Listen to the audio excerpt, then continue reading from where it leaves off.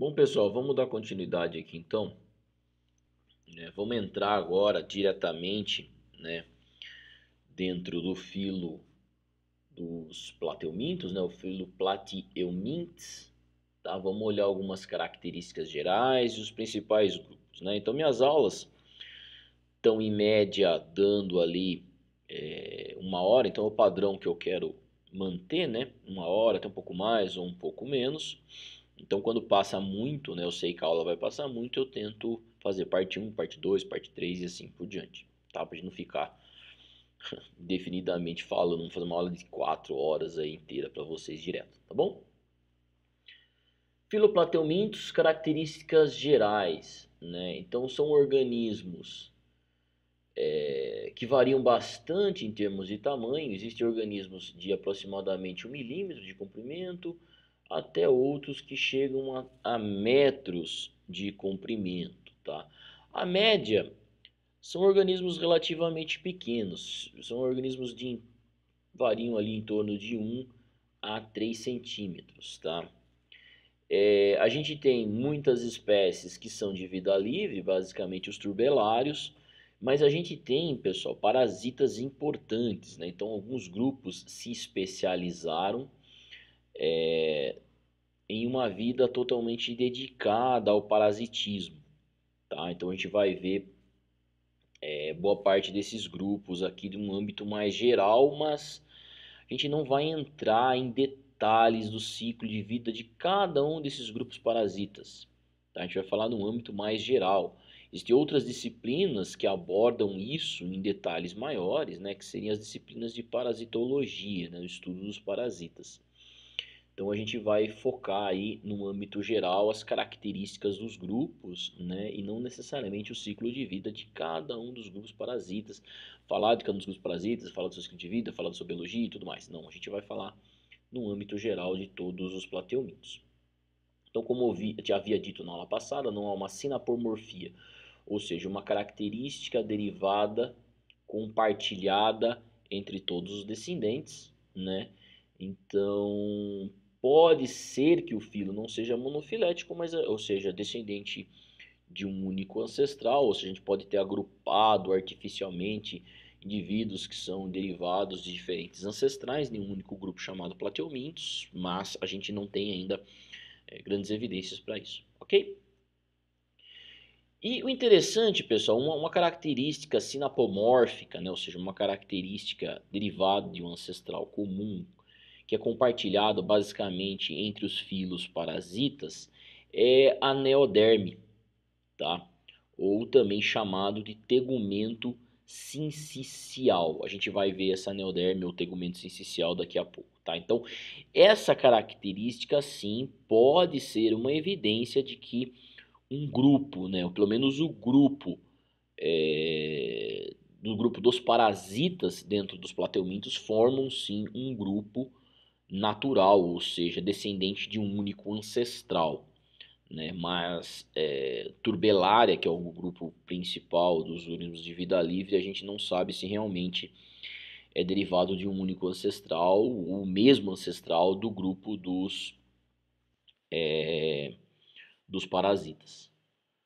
Ok? Então, pessoal, o que, que a filogenia dos plateumintos? Então, eu sempre falo da filogenia, sempre abordo esse ponto aqui, né? Então, a gente tem os plateumintes, né? O filo plateumintes.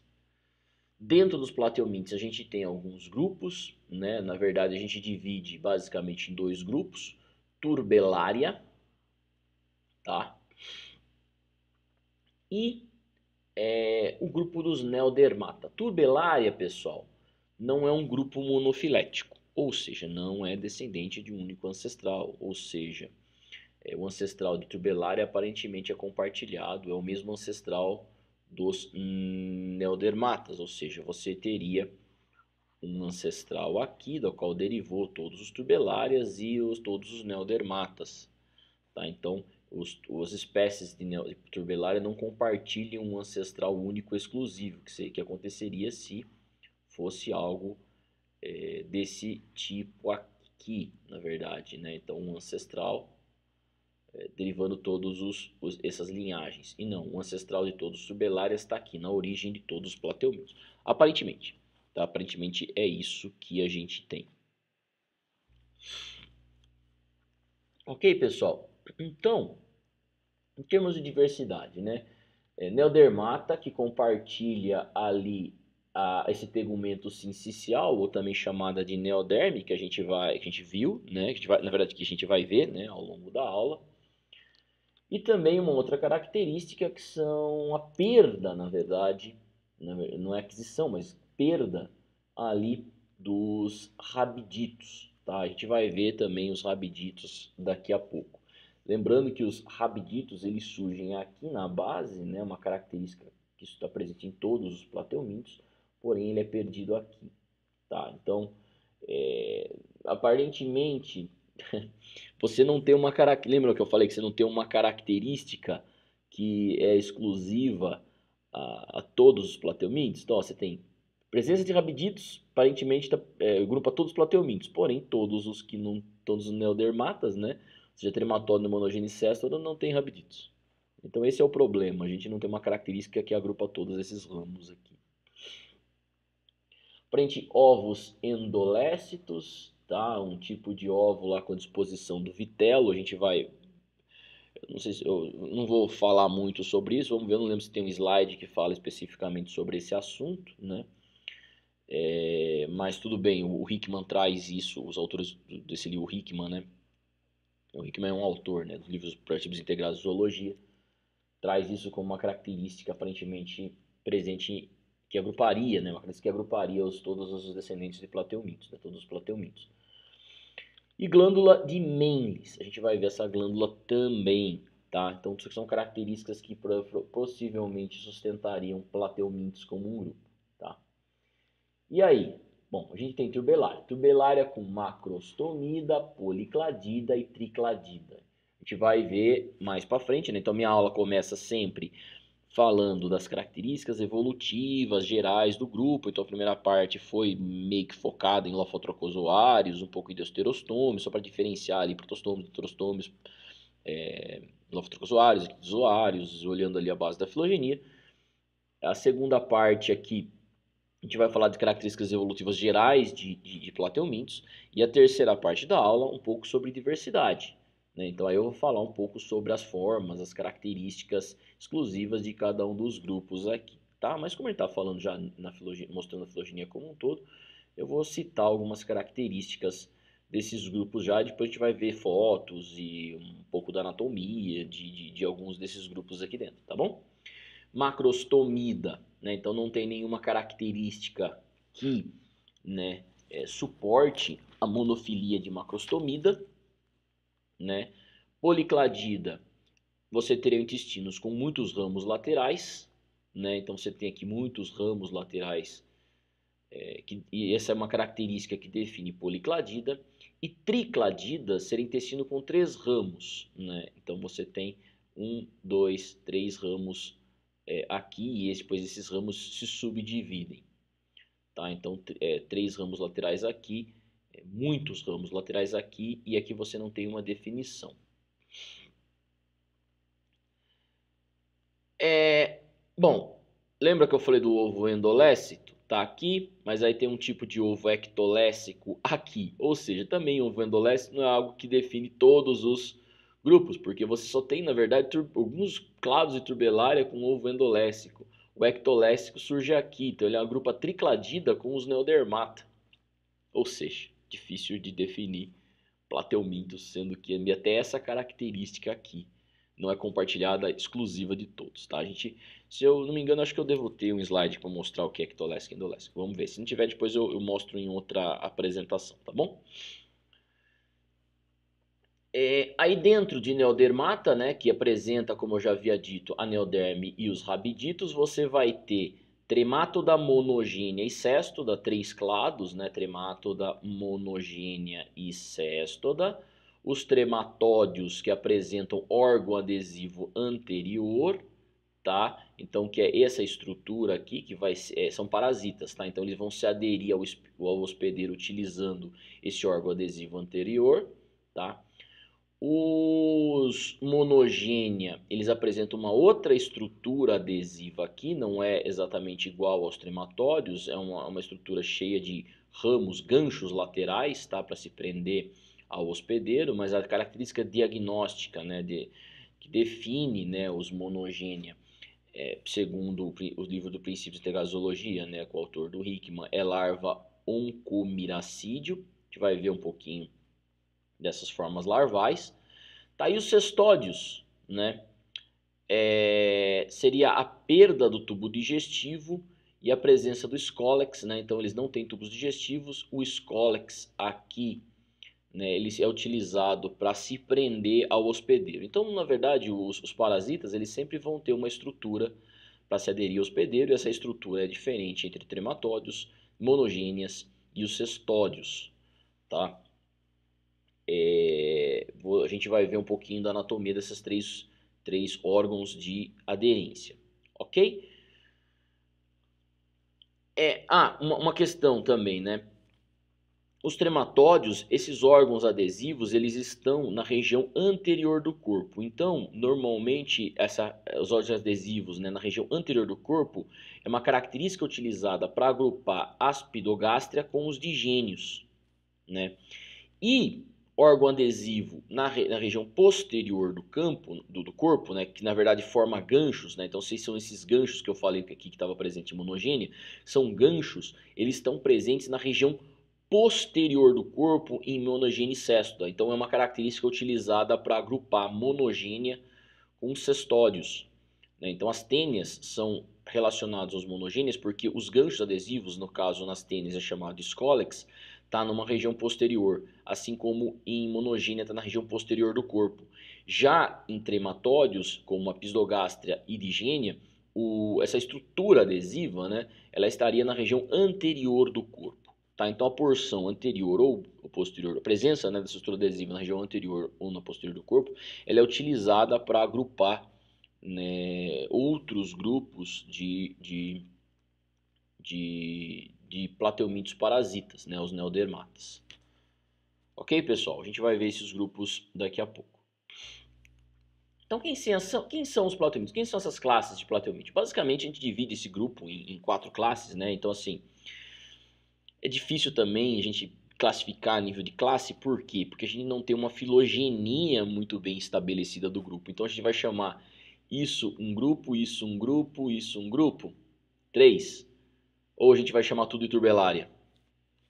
Algumas, alguns, alguns autores classificam tudo num grupo turbelária, mas turbelária, como eu já havia falado, não compartilha um ancestral comum direto. Tá? Todos os clados não compartilham. Mas muitos autores ainda utilizam a palavra turbelária por conveniência, porque é uma, um nome que já vem de muito tempo, antes da escola filogenética de, de, de, de classificação, né? Então, muitos ainda utilizam a palavra turbelare. Turbelare aparentemente está a nível de classe. Trematódios. Trematódias in, inclui Apsidogaster e Digênia. Então, aqui, ó, os trematódios, tá? Os monogênia e os cestódios. Então, isso está a nível de classe. Trematódia, monogênia e cestódia. E além de turbelare. Então, teoricamente, seriam quatro classes de é, plateumintos. Mas lembrando que um ponto que eu quero destacar é que isso daí pode não formar um grupo natural, as evidências é que muitos não formam um grupo natural, principalmente os turbelária, tá bom? Então, turbelária são, os são as formas de vida livre, então os, os plateumintos de vida livre estão na, na classe turbelária, normalmente são chamados de, de planárias, tá? Então, existe ali aproximadamente 3 mil espécies de turbelários, mas existe também algumas formas parasitas, a gente nem vai falar delas, tá bom? Porque senão a gente teria que... A gente poderia entrar em detalhes, estudo dos plateumintos, aí ficaria falando dias, né? Sobre grupos e grupos dentro de plateumintos, né? Então a gente não vai chegar nesse nível de detalhes aqui. Os trematódios. Os trematódios, pessoal, são basicamente parasitas também, né? endoparasitas, existem ali mais de 11 mil espécies, tá? É, então eles ficam ali em regiões basicamente do trato gastrointestinal, é, anexos, órgãos anexos, trato gastrointestinal, como fígado, entre outras porções que a gente vai ver. São perigosos, podem levar a necrose do fígado, não só em animais domésticos, como ou animais de criação, mas inclusive em nós seres humanos. Então tem que tomar muito cuidado com esse, esse trematose, ele pode levar à morte, tá? Monogênia. Os monogênias são basicamente ectoparasitas, tá? Então eles ficam na é, é, palavra endo, interno, ecto, externo. São parasitas externos de vertebrados. Normalmente são parasitas externos de vertebrados, tá? A gente vai ver ali, existe o, para, o hospedeiro intermediário, hospedeiro definitivo, pode ser um invertebrado, pode ser um invertebrado e assim por diante. A gente vai ver um pouquinho disso aí, alguns ciclos de vida de algumas classes. Os cestódios, né? Os cestódios são endoparasitas. Né? Ah, voltando, monogênia tem em torno de 11.100 espécies. Cestódios, endoparasitas também como os trematódios, 3.400 espécies. Dentro dos cestódios temos a tênia, famosa parasita de intestino, né, de vertebrados. A gente vai ver um pouquinho dela também. Tá? Então a diversidade ali é em torno do que? 3, 6, 17, 18.500 espécies. Né? Então, se você somar tudo aqui, vai dar em torno de 18 mil né? e 500 espécies aproximadamente. Tá? É, de plateumintos. Então, assim, é uma diversidade considerável, mas também não é a maior diversidade ali dentro dos urbilatérios, tá? Então, só para vocês terem uma noção, é, os vertebrados têm 66 mil, os vertebrados têm em torno de 66 mil espécies. Ah, o filo, vai falar o filo como um todo. Então, em torno de 60, pouco mais de 66 mil espécies os cordados.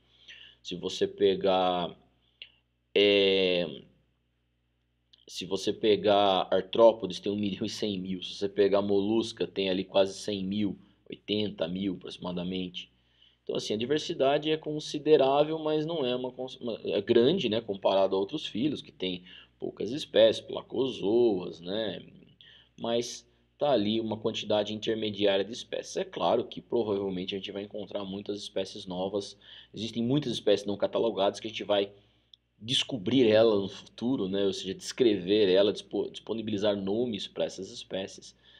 E assim a gente vai conhecer mais essa diversidade dos, dos platiomintes. Bom, como que é a estrutura do corpo de um plateuminto? Tá? Então é a primeira primeiro ponto aqui. Vamos falar da forma geral do corpo, e função de algumas partes, principalmente da epiderme e dos músculos, tá? Vamos lá. Isso da, a gente vai falar dessa estrutura se baseando numa, é, numa planária, né? um tricladida, um turbelário tricladida. Tá? Então, se você pegar, esses bichos têm todos formas do que? Formas vermiformes. Lembra? São vermes, falando da última aula. Tá? primeira parte da aula, na verdade. São organismos vermiformes. Então eles parecem vermes. Ok? Se você fizer, como é que é então a, a, a, o corpo deles, né? Como que se você fizer um corte lateral deles, como o corpo desses organismos estão estruturados? Bom, se você fizer um corte transversal de um plateuminto, no caso aqui numa planária, você vai encontrar basicamente isso aqui, ó. Você vai encontrar uma epiderme, tá?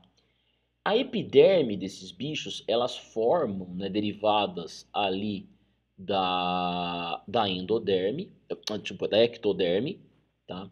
E ela forma a barreira do corpo com o meio, né? Então, exatamente como a nossa pele, tá? Então, essa epiderme forma a pele aqui desses bichos, né? A barreira do corpo com o próprio meio. Né? Então você vai ter uma células aqui epidérmicas, que é uma células de pavimentação, ela pavimenta o corpo. Ela que vai fazer a, formar a barreira do corpo com o meio, tá? É... A parte dorsal, né, que seria essa parte aqui superior do corpo, você vai ter o que? Você, você, não, você tem células, mas essas células não são ciliadas. Porém, as células é, da região ventral, elas são ciliadas, né? Então, essas células da região ventral, elas são ciliadas, elas auxiliam no próprio movimento do corpo, tá? e movimentação também de, de fluidos externos e, e muco e, e, assim por diante, tá bom? Então você tem aqui a, a epiderme, porção dorsal sem né, é, é, cílios, né, a parte ventral toda ciliada. E aí o que, que você vai ter? Na região da epiderme, junto com as células da epiderme, que são células de preenchimento, você vai ter algumas células secretoras do que a gente chama de rabiditos. Tá?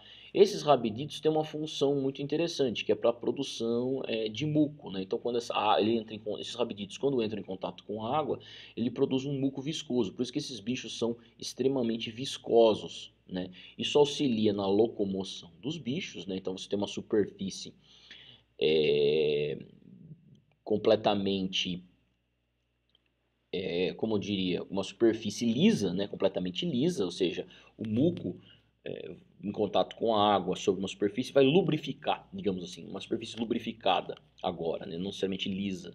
Lisa seria da própria estrutura, lisa rugosa, né, seria uma, uma superfície totalmente lubrificada, que seria os rabiditos em contato direto com a, a, a água, tá? Então essa aqui é a função principal dos rabiditos. E eles têm um conjunto aqui de células, pessoal, que a gente vai olhar daqui a pouco, tá? Que são as células adeno adesivo duo, duoglandulares, né? Que são essas células. Que algumas células secretam um, um muco adesivo, a outras secretam uma estrutura que é para liberar, então ela vai grudar, essas células têm a função de grudar o corpo no substrato, outras células vão secretar um outro tipo de, de, de secreção, né? E essa secreção vai liberar o corpo de contato com o substrato e assim por diante. Tá? Então essas células aqui são bem interessantes. Você tem logo abaixo da epiderme músculos, né? então esses organismos têm a capacidade de contrair, né? de, de, contrair esses músculos. Né? Então está vendo as fibras musculares em diferentes disposições aqui dentro. Ok? Você vai ter um parênquima de preenchimento, tá? Então eles têm aqui a mesoderme, você, só que você não vai ter é, região celômica, né? então esses bichos são acelomados, tá? E você tem o parênquima todo preenchendo, né? Parênquimas seriam células mesodérmicas que, que preenche todo aqui esse espaço interno. Como eu falei, você tem ramificações intestinais, então se você fizer um corte lateral, que você vai ter a porção principal do intestino e você tem outras porções do intestino, porque o intestino fica todo ramificado no interior do corpo. Então você tem aqui ó, Nesse corte passou um, um corte no intestino, outro corte no intestino, outro corte no intestino. Nessa aqui, região da faringe, aqui outra...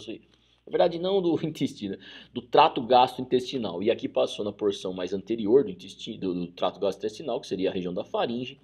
Essa região aqui seria as regiões mais posteriores do trato gastrointestinal, que seria as regiões do, do intestino, tá? Porções do intestino.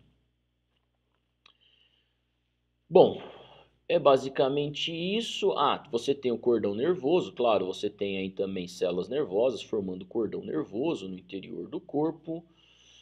É, você tem músculos também em volta do trato gastrointestinal para ajudar na movimentação do alimento no interior do trato gastrointestinal. E é basicamente isso. Isso é a estrutura geral básica desses organismos. Então você tem um, uma parte da então você tem é, ectoderme, você tem endoderme e você tem mesoderme. Né, estruturas derivadas de, desses três folhetos germinativos, ecto, meso e endoderme. Né? A ecto com seus rabiditos, várias células glandulares, várias é, células ciliadas, tá? Você tem mesoderme, então, com basicamente formando todos os músculos internos do corpo. Ah, desculpa, faltou falar da ectoderme também formando aqui os, a parte do cordão nervoso, né, tecido nervoso. A mesoderme, então, formando músculos bem internos ao corpo, entre outras estruturas, né, parte de preenchimento todo derivado da mesoderme. E a endoderme formando o trato digestivo interno, tá, o trato gastrointestinal, ok? É, bom, era para falar de separadamente, mas eu acabei falando tudo, tá? Aqui, ó. Então, o que, que são os rabiditos? Né? Então, as células da epiderme, né? É, as células da epiderme, elas contêm rabiditos. Por que, que a gente sabe que é uma epiderme, em primeiro lugar? A gente sabe que é uma epiderme porque ela está sobre uma membrana basal. Então é uma epiderme verdadeira. Essas células aqui, lembra, para ser epitélio, para ser tecido verdadeiro, essas elas têm que estar né, sob uma membrana basal, que nada mais é conjunto de é, fibras, né? fibras de uma maneira geral, proteínas, fibras e tudo mais. Então aqui tem a membrana basal. E você tem algumas células aqui da, da epiderme que contém essas estruturas aqui lamelares, né? Então você tem os pequenos bastões cheios de lamelas que quando muito pequenos, então quando você mistura esses milhares, milhões de bastõezinhos com a água forma uma, uma, uma densidade maior, como se fosse uma glicerina, uma coisa bem é, melequenta, assim, que seria, forma, formaria um, um, um tipo de muco, tá? E esse muco tem a função de ajudar na locomoção desses bichos, tornar a superfície cada vez mais, é, como que eu te havia dito anteriormente, a superfície cada vez mais é, melada, né? mais, mais não lisa, né? mais, é, vocês entenderam. então permite o rastejamento, permite, porque esses bichos todos com o corpo vermiforme, né? eles se locomovem por rastejamento. Tá? Então eles vão se rastejando no substrato, pode ser substrato marinho, pode ser dentro do próprio intestino de um organismo, pode ser os de vida livre, né, que sobre formas terrestres, como planárias, entre, entre outros. Tá? Então esses rabiditos são extremamente importantes para a estrutura aí dos plateumintos. Ah, e essas, os órgãos adesivos do glandulares é um outro órgão muito interessante desses bichos, né? Então são células que é, têm a função de fixar o organismo ao substrato ou se, soltar o organismo do substrato. Então você tem algumas células chamadas células viscosas, né, no qual a secreção auxilia na fixação dos microvílulos das células ao substrato, tá? As células liberadoras, que apresentam um mecanismo químico de liberação do substrato, é, e as células de fixação propriamente ditas, que, fi, é, que apresenta fixação ao substrato. Então são três tipos celulares. As células viscosas, que secreta né, é, substâncias que vão aderir, né, ajudar os, os a se aderir ao substrato, as células liberadoras, que vão secretar, apresenta mecanismos químicos, secretam substâncias que vão liberar os, os, os, as outras células do, do substrato, e as células de fixação propriamente ditas. Que é isso daqui.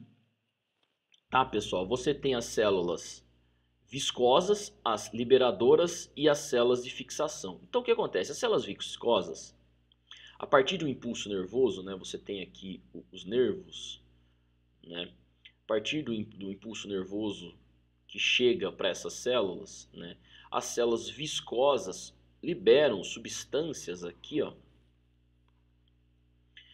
que é, vão levar à fixação, né, das, das células de fixação ao substrato.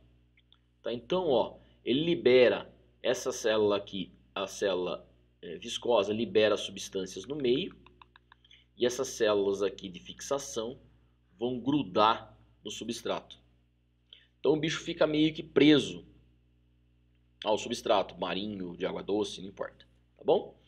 A partir do momento que ele quer se soltar do, do, do, do chão, né? Então ele, na verdade essa célula, essa célula viscosa, ela libera como se fosse uma cola que gruda principalmente essa célula aqui no chão, o bicho fica preso. Aí vem, né, a célula liberadora que secreta o que? Um, outras substâncias que vão o que? Liberar, soltar, desgrudar, né? A célula de fixação do meio, então assim soltando o organismo do substrato. Tá? Então esse é um mecanismo que eles, esses bichos utilizam também, né? Para conseguir se aderir ao meio. Ok? Tranquilo? Então isso daqui está presente basicamente em vários grupos de, de, de dos plateumintes, tá? É, principalmente nos turbelários. E você vai ter os, os neodermatas agora, né? Quem são os neodermatas? São os trematódios, os monogênias e os cestódios, que são os organismos, os, principalmente os organismos parasitas, apesar de ter turbelários parasitas também, tá? Esse grupo, que inclui os trematódios, monogênios e os cestódios, né, esse grupo aqui, ele apresenta um tegumento que a gente chama tegumento sincicial. O que é um sincício? Eu acho que eu já falei isso para vocês, tá? Quando eu estava falando estava falando de poríferos, tá? E, é o que é o seguinte, quando você tem algum, uma célula grande, é, na verdade não seria uma célula grande, são várias células menores, na qual o citoplasma de todas essas células são contínuos. Então, digamos que você teria três células formando um sincício. Então você tem que ter três núcleos celulares, o que seriam três células, só que você não tem separação entre o citoplasma. Tá? A não separação do citoplasma, ou seja, o citoplasma das três células acaba sendo contínuo entre elas, isso forma um sincício. Ok? Então, é, é, é o, o, tegumento sincicial basicamente é isso. Quem tinha esse tegumento sincicial quando estava falando de é, porífera são os homuscleromorfa. Agora, aqui, né, dentro dos plateumintes, o, os neodermatas, que também apresentam tegumento sincicial. Então, se você olhar para a epiderme desses bichos, você vai encontrar o seguinte, ó, você encontra o núcleo celular, outro núcleo celular, então, ou seja, uma célula, duas células. E quando você olha para o citoplasma dessas células, os citoplasmas são contínuos. Olha, não existe divisão. O certo, o certo, né, uma célula normal seria você ter o núcleo separado entre as duas células, e o citoplasma também separado entre as duas células. Teria que ter separação aqui, ó. E aí você tem essa célula separada dessa outra célula. Mas isso daqui não existe, tá? No, nesses organismos. Os tegumentos, né, ou, seria, ou seja, a pele deles, o epiderme da pele deles, né, é, é contínuo, os citoplasmas são contínuos. Ok? Você tem núcleos celulares diferentes, mas os citoplasmas são contínuos. Ok? Então aqui está só mostrando as, as, estruturas internas de uma célula, mitocôndria, né? o núcleo celular, o nucleolo, o complexo de Golgi, entre outras partes. Tá? Então o citoplasma, né? então aqui ó, tem mitocôndrias, gente pode ter mitocôndrias bem no meio aqui entre as duas células, sabe se é de uma ou se é da outra, assim por diante, porque o citoplasma é contínuo. Tá, então esse tipo de tegumento, tegumento sincicial, está presente dentro dos plateumintos num grupo chamado neodermata. E esse grupo é formado por trematódio, monogênio e cestódio. Tá? Que são basicamente a maioria dos organismos, dos plateumintos parasitas. Ok? Então, aparentemente, né, é, a perda daquela epiderme ciliada que está presente nos, né, na maioria ali dos, dos, dos turbelários, ela é uma adaptação para impedir a resposta imune dos seus hospedeiros. Né? Ou seja, é, se você não tem é, os organismos de vida livre, que é aquele monte de células, aquele monte de cílios, se ele entra de repente dentro de um hospedeiro, o seu organismo pode é, reconhecer aquilo como um invasor mesmo e o seu sistema imune tentar né, é, impedir o desenvolvimento daquele organismo e, e, assim por diante, atacar o organismo, mesmo sendo microscópicozinhos, né? Já essa, essa, esse tegumento sincicial aparentemente está relacionado, né? então eles perderam essa epiderme ciliada, que está presente basicamente nos turbelários, e desenvolveram esse, esse, esse tegumento sincicial. Isso daí, aparentemente, é uma adaptação para evitar né, uma resposta do sistema imune dos hospedeiros. Ok? E outro, eles também suportam muitos do, do ambiente inóspito que seria um trato gastrointestinal de muitas espécies, né? Então, por exemplo, você tem no trato gastrointestinal sucos digestivos, um pH ácido do estômago e assim por diante. Então, esse tegumento sincicial, ele dá uma certa resistência, né, para esses organismos parasitas poderem sobreviver no interior do intestino de muitas espécies, por exemplo, os cestódios. Ok? E outra, uma outra questão é que esse tegumento sincicial, tá, ele pode ser, não, ele é basicamente absortivo, né, e secretor, ou seja, por que, que é importante um, um, um tegumento absortivo? Porque se você é um parasita, você não precisa digerir nada.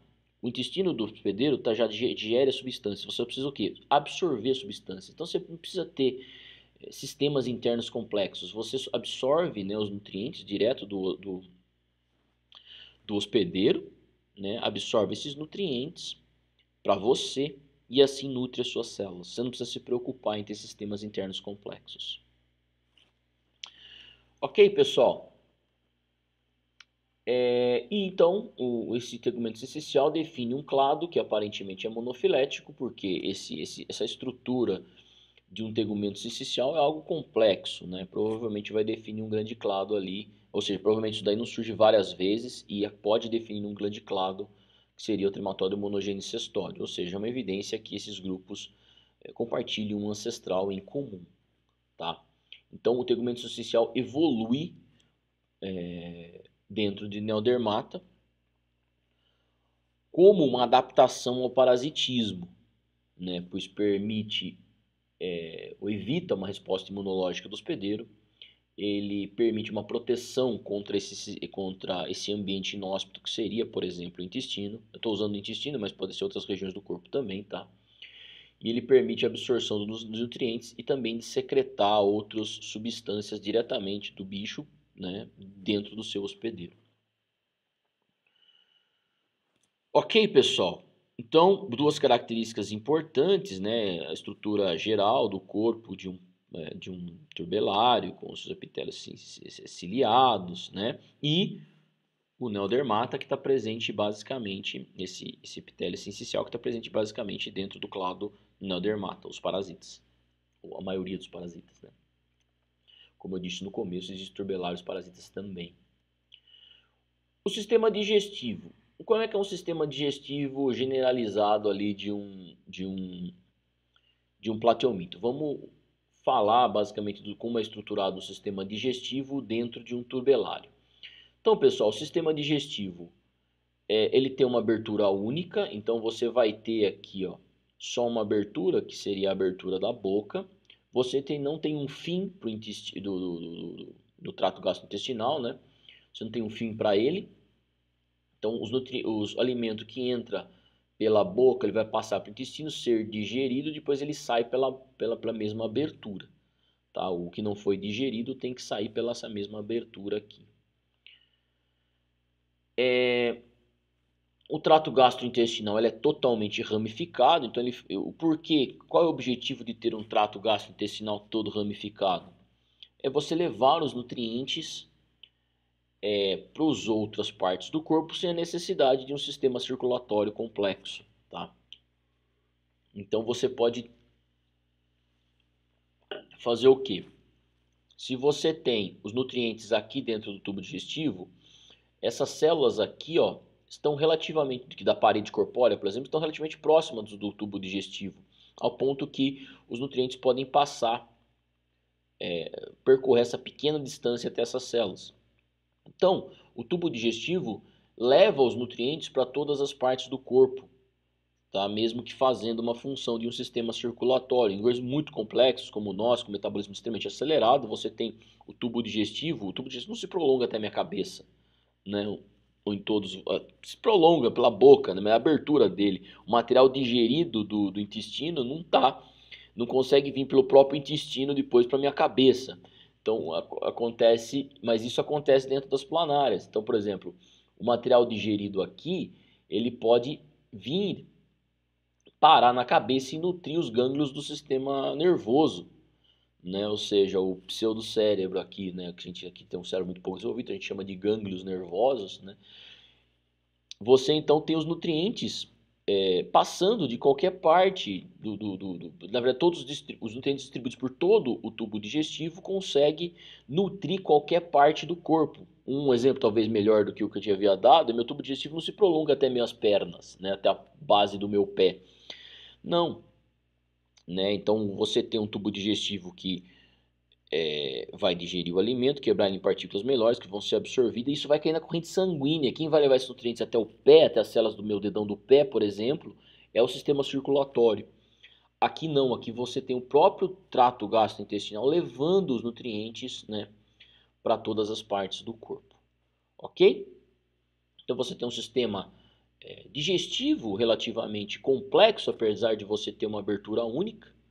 Né? E você tem também um sistema, um sistema, pela primeira vez aqui dos grupos que a gente tem olhado, você tem um sistema é, nervoso um pouco mais complexo, então já não formando um, grande cérebro, né, uma concentração grande de neurônios que tem função de controlar as funções orgânicas, né, você não tem ainda isso, mas você tem já uma concentração grande de neurônios em uma das porções do corpo, que a gente vai chamar cabeça, alguns sistemas sensoriais mais complexos, como por exemplo os ocelos, a gente acaba chamando de ocelos, a gente não chama de olho, tá? formando imagens que a gente tem. Os ocelos têm a função basicamente de é, reconhecer mudanças de luminosidade, mas não tem é, capacidade de distinguir grandes, é, imagens. Tá?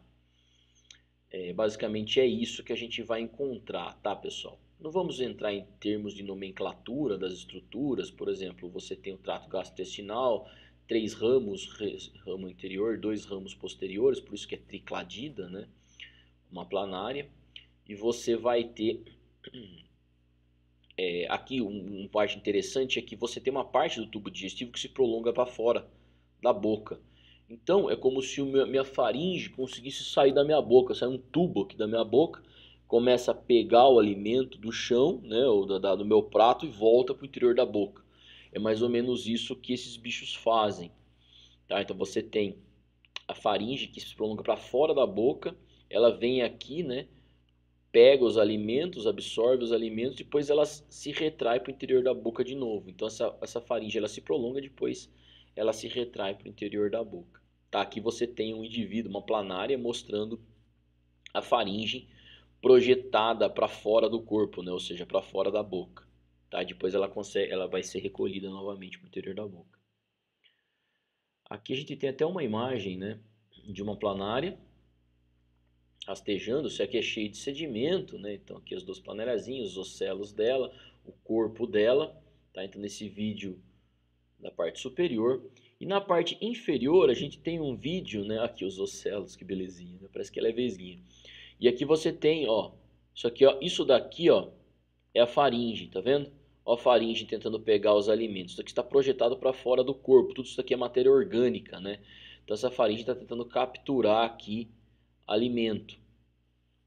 Tá? Opa, desculpa, acho que a ponta... Ah, não, tá certo. A ponta dela fora do corpo está aqui. Tá? Então aqui é a parte da faringe que fica se projetando. Olha, aqui é um tubo se projeta para fora do corpo. Né? Então, para em mim, como se toda essa faringe tivesse... É, minha faringe tivesse capacidade de projetar para a parte externa do corpo. Ok, pessoal?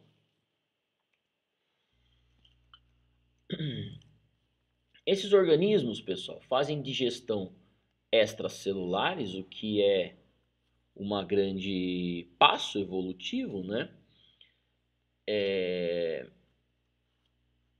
Ou seja, você tem o nutriente indo para o interior do tubo digestivo, como acontece em nós, um monte de enzima secretada sobre esse material, você vai ter movimentos ali do tubo digestivo, fazendo a mistura das enzimas com o, o, o, o, o alimento, né, a matéria orgânica, e aquilo acaba quebrando essas, essa matéria orgânica em partículas menores que são possíveis de serem absorvidas, né, aminoácidos, é, glicose, é, frutose e, assim por diante, lipídios, né, bem, e cadeias bem pequenas, isso aí pode ser tudo absorvido. Ok, pessoal? Então a digestão extracelular, o que é padrão para a maioria dos animais, principalmente os mais complexos. Porém, você tem um misto aqui, né? Uma digestão extracelular, que é um ponto importante para a evolução, né? Mas, como são organismos ainda não tão complexos comparado aos vertebrados, né? Sempre faço esse comparativo. Parte da digestão ainda acontece de maneira intracelular. Então, partículas não totalmente digeridas podem ser fagocitadas pelas células do trato gastrovascular. Trato gastrovascular era lá em quinidade. Trato gastrointestinal, tá bom?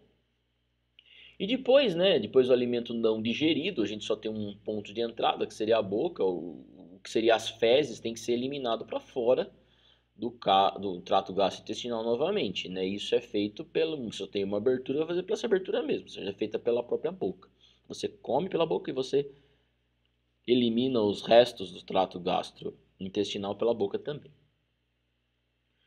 Bom, isso daqui, isso daqui que a gente está falando então são nos turbelários, né? ou seja, organismos de vida livre. Só que se você pegar a grande parte dos, dos, dos, dos, dos plateumintos não são né? É, de vida livre, eles são parasitas. Né? Muitos são. Opa, o que, que aconteceu aqui do nada? Né? Que droga. Muitos são é, são muitos são parasitas, né? E os parasitas, pessoal, eles conseguem absorver os fluidos diretamente do corpo do hospedeiro. Então ele não precisa passar por todo esse problema que seria como eu vou digerir meu alimento, depois vou eh, ingerir, né? Depois eu vou eu tenho que digerir primeiro para depois absorver os nutrientes, assim por diante. Eles não têm esse problema, né? Porque eles o, quem digere o alimento para eles são os hospedeiros, né? E eles absorvem os nutrientes a partir do próprio hospedeiro.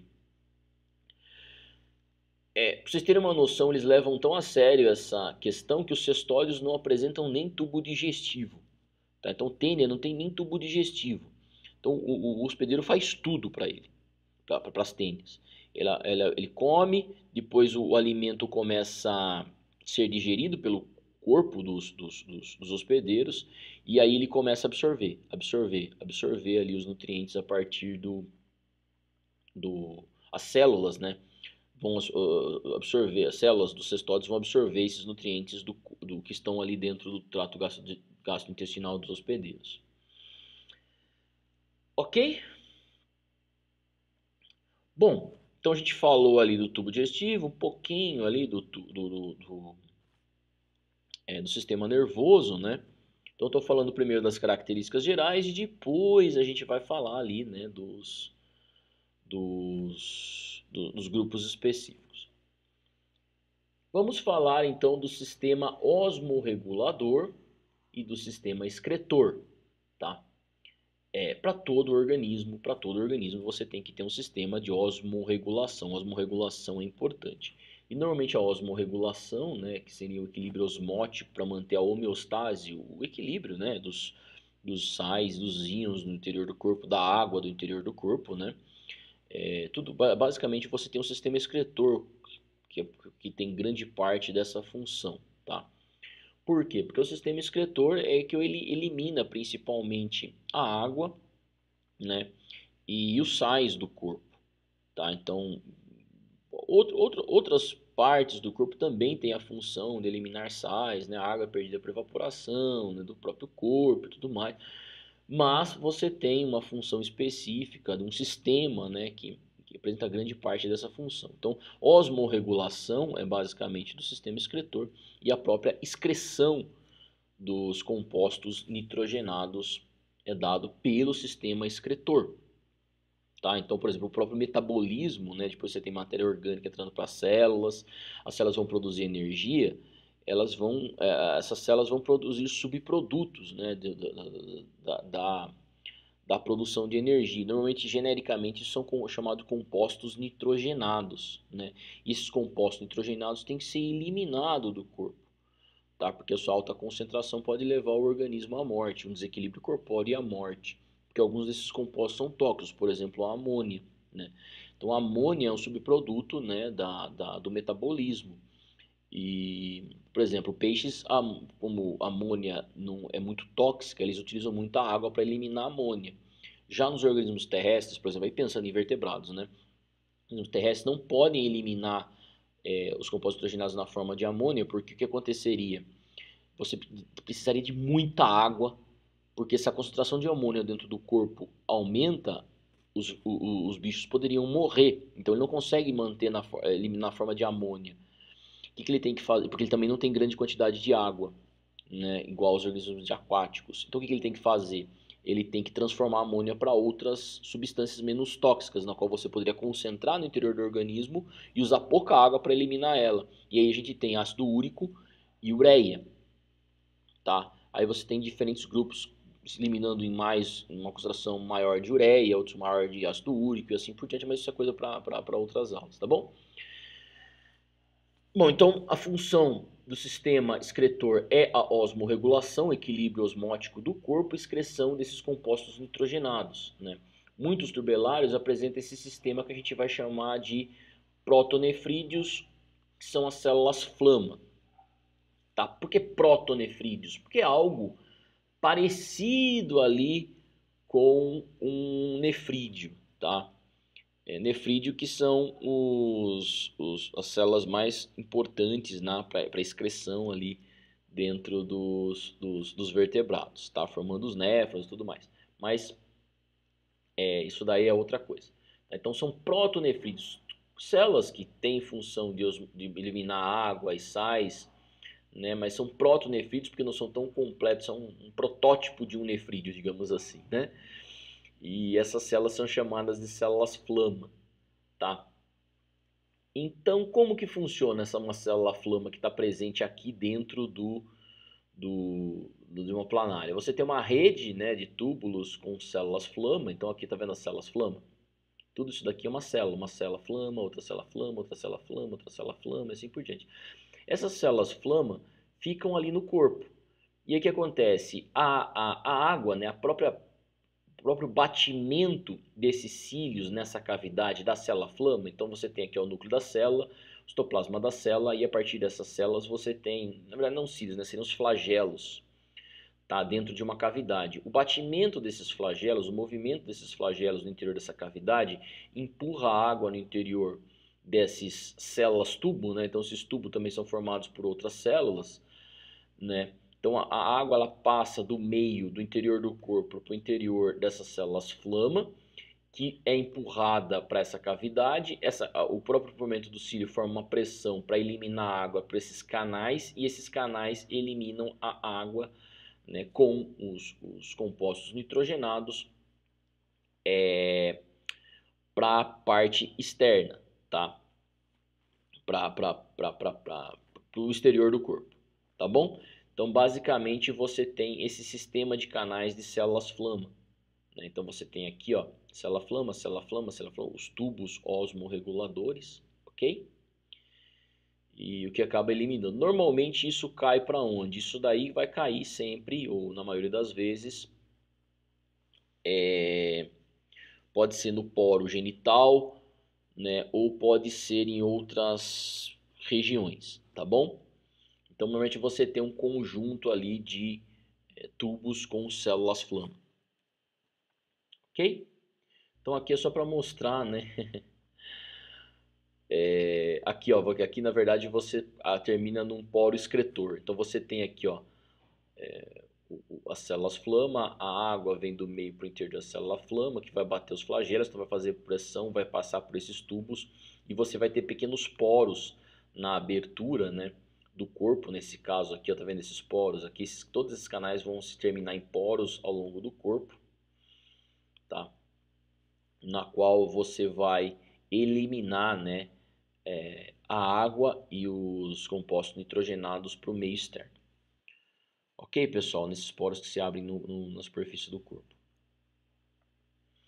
Sistema nervoso. Vou falar rapidinho, eu já tinha falado um pouquinho antes, né? O plexo nervoso subepidérmico lembra uma rede nervosa dos quinidários, ou seja, é um, é um sistema um pouco difuso. Então a gente está no intermediário entre aqueles plexos que se acumulam na região anterior do corpo, né, como formando um pseudocérebro, e alguns plexos formando redes difusas. Então, assim, você não tem uma concentração tão grande ainda de, de neurônios em uma região específica do corpo, formando uma cabeça, né?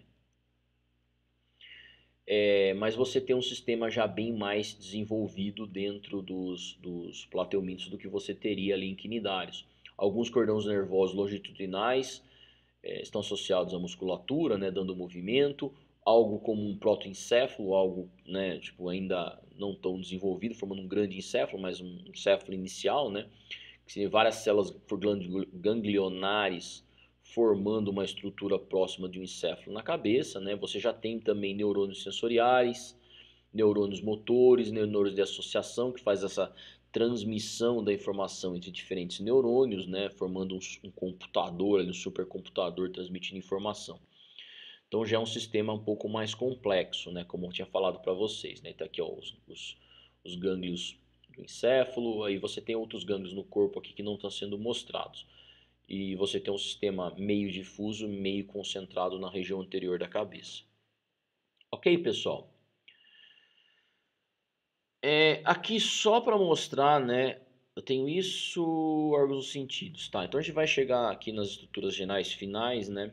E depois a gente vai falar sobre a diversidade. A gente está chegando quase uma hora de aula, então não quero me estender muito, vou falar bem rápido. Normalmente você tem, dentro dos parasitas, é, as mesmas estruturas que eu já falei anteriormente, nos, nos tubelários, tá? O que eu estava falando aqui era tudo sobre os tubelários, aqui eu estou falando sobre já um parasita, isso aqui é um trematóide do fígado humano. A anatomia desses bichos, pessoal, é muito parecida, porém é reduzida, é, em termos de sistemas corpóreos. Por quê? Parasita não precisa ter todas as estruturas. Ele vai, ele vai utilizar é, muitas funções dos sistemas do próprio hospedeiro. Tá? Então, por exemplo, ele não precisa digerir alimento, ele absorve os alimentos digeridos do, do hospedeiro. Né? Então, na verdade, os, não precisa coordenar nada, ele não tem grande quantidade de movimento. Né? Então não é que nem um bicho de vida livre que tá, tem que andar, procurar alimento, fugir de predador. Então você precisa de sistemas sensoriais, sistema nervoso complexo. Tudo isso é necessário, né? sistema circulatório mais complexo. Então organismos de vida livre acabam se tornando mais complexos. Quando você pega organismos parasitas, você tem redução dos sistemas, sempre, tá? É, você tem redução dos seus sistemas internos porque você não precisa desenvolver várias funções, você absorve, eh, você utiliza as funções dos sistemas do, do, do hospedeiro para benefício próprio. Tá? Então, o que, que parasita precisa ter de sistema extremamente desenvolvido? Normalmente, o sistema reprodutor para garantir a existência da espécie, né? porque você está dentro de um hospedeiro. Como é que você vai garantir que os seus filhos vão sobreviver? Né? Normalmente é produzindo muitos ovos né, para que esses ovos cheguem a, a, contaminar um outro indivíduo. Então, os parasitas, pessoal, pessoal, o sistema mais desenvolvido dos parasitas normalmente é o sistema reprodutor, tá? Então, vocês têm sempre aqui, muitos você tem sim sistema digestivo, então aqui é o intestino. Só que é um intestino muito rudimentar comparado com os organismos de vida livre, porque eles vão absorver os nutrientes do, do, do, do né, dos, dos outros do seu hospedeiro. Ele tem que ter sempre um sistema de aderência ao hospedeiro, normalmente aqui que nem os palateomintes, uma ventosa oral, uma ventosa anterior, isso aqui é um trematódio, né? E é isso, o polo excretor, então você tem que ter um sistema excretor ainda para ter, ter um tipo de osmorregulação interna do corpo. Então, basicamente, parasita, você tem osmorregulação e sistema digestivo e um sistema reprodutor muito desenvolvido. Praticamente um sistema é, um sistema nervoso rudimentar, muito pouco órgão do sentido. Né? Nesse caso, você não tem sistema circulatório, não tem sistema reprodutor, você absorve tudo, né? inclusive os gases né, necessários, o oxigênio do seu próprio hospedeiro. E, e é isso. Tá? Então você vai ter, basicamente, nos parasitas, sistema reprodutor, então aqui é o útero, né? Normalmente eles são monóicos, então ele tem os dois né, os organismos são hermafroditas, eles têm tanto a parte reprodutora feminina quanto a parte reprodutora masculina. Então, ó, útero, parte do sistema, ovário, parte do sistema feminino, né?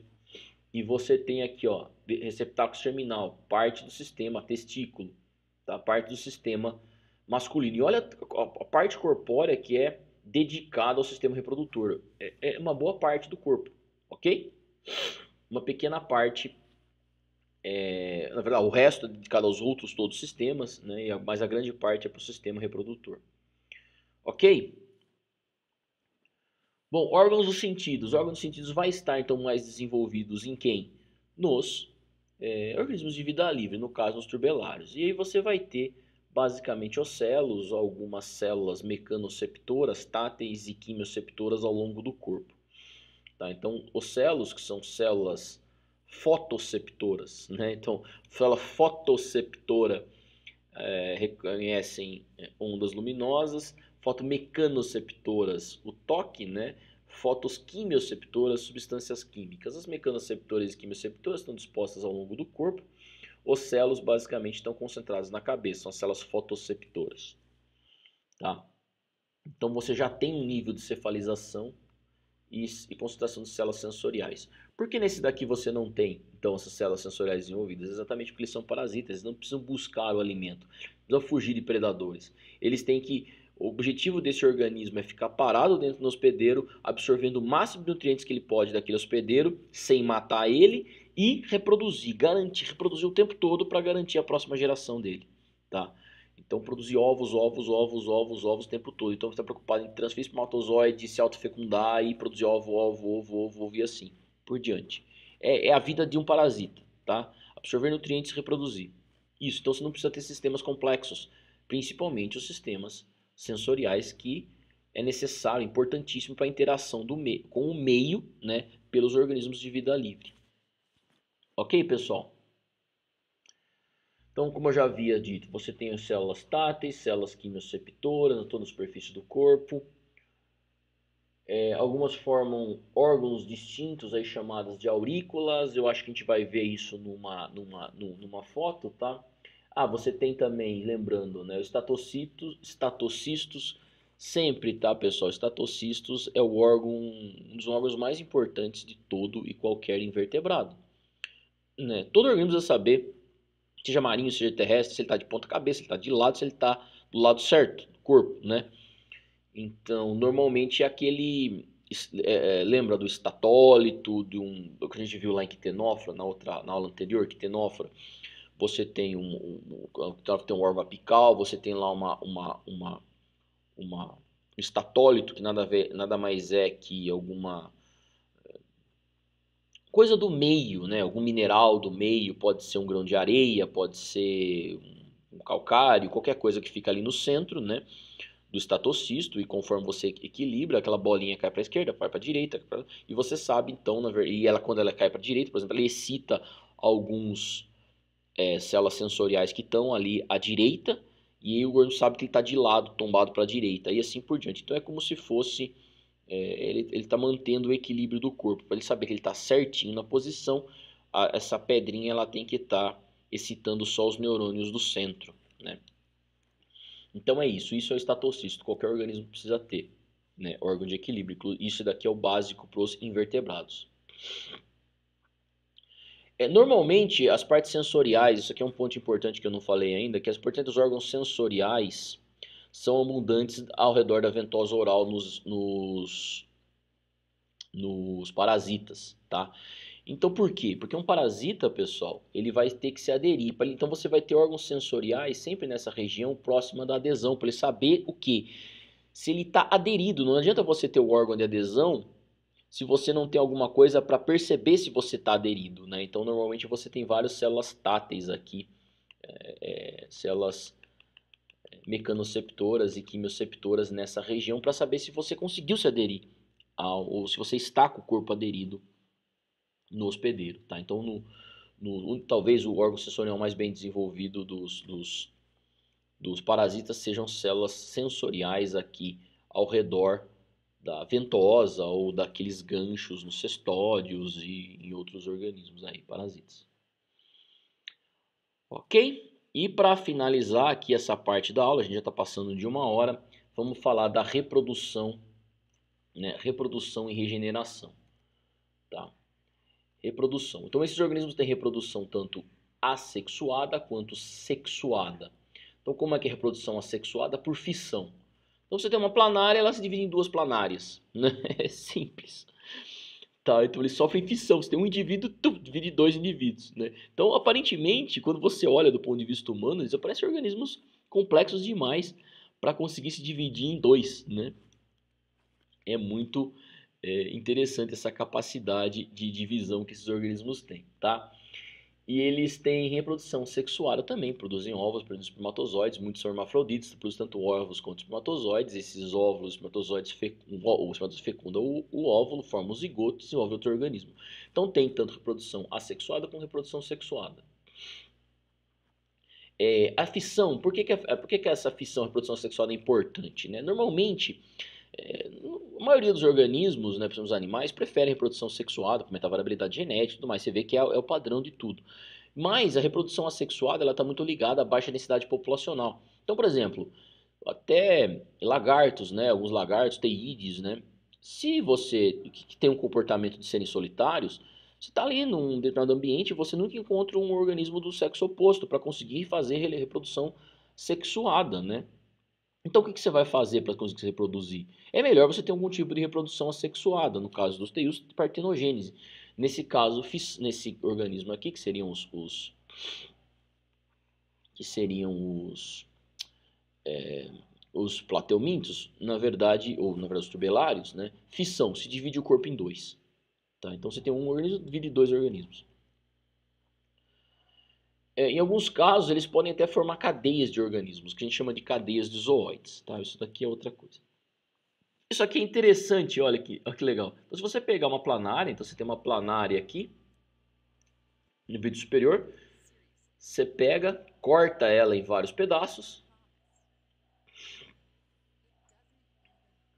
Tá? Então cortou ela, ó, ela continua andando. Depois que você corta ele em pedaços, continua andando. E daqui a pouco, ó, começa a se regenerar. Se você olhar aqui na parte de baixo, eles estão se regenerando, se regenerando, se regenerando, se regenerando. Tá? E depois de algum tempo,